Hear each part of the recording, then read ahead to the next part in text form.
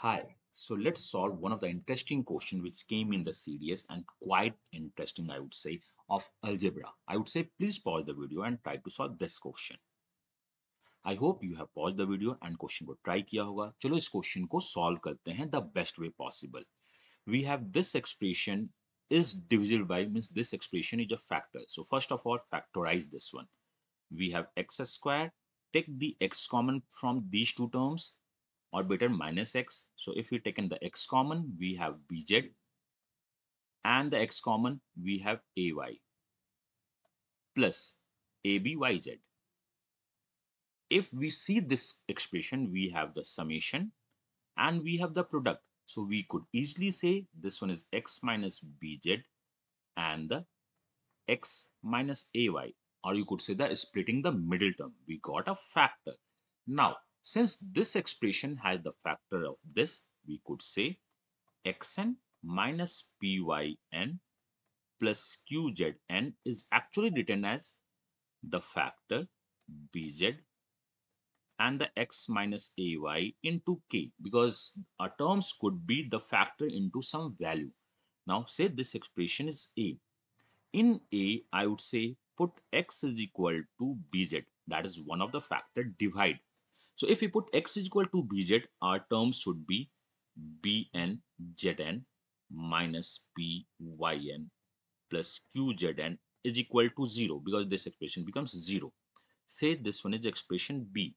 Now we have to do another values putting. So in the a, that is our first expression, put a is equal to x is equal to ay. So if we put x is equal to ay, we will get an yn minus pyn plus qzn is equal to 0. Say this one is expression C. So we have expression B and expression C. Now we have to do B minus C. So we have B and Zn minus Pyn plus Qzn is equal to 0. Now we have C was what?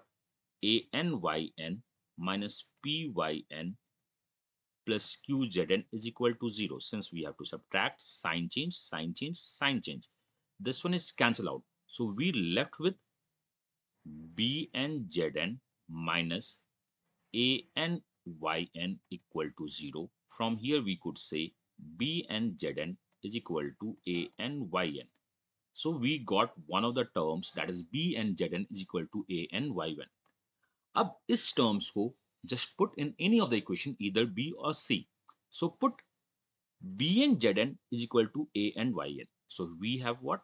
First let it be b and zn minus pyn plus qzn is equal to 0 in the expression this divide this terms by b and zn so if we divide this term by b and zn we get 1 minus pyn upon b and zn plus qzn upon bn zn is equal to 0. zn zn cancel out.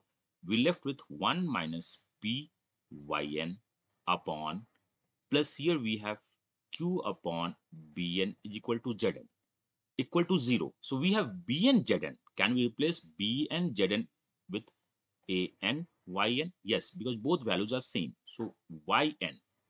yn, yn cancel out. We got 1 minus p an plus qbn is equal to 0. From here, we can say 1 is equal to pan minus, if we take everything in the right hand side, qbn. And this is our question. pan minus qbn value of this question is 1 and this is our answer. So this is one of the interesting question of algebra but quite tough too. तो अब question आपके exam में आएगा तो you can easily solve direct आप इसको answer कर सकते हो। We can even solve with the values putting but बहुत ज़्यादा टीडियस होगा, बहुत ज़्यादा लेंदी होगा। तो sometimes we solve algebra with the help of basic concept चलो मैं मिलता हूँ नेक्स्ट वीडियो में। If you want to join any of the courses call on this number और व्हाट्सअप ऑन दिस नंबर मिलते हैं नेक्स्ट वीडियो में। Till then God bless you happy learning and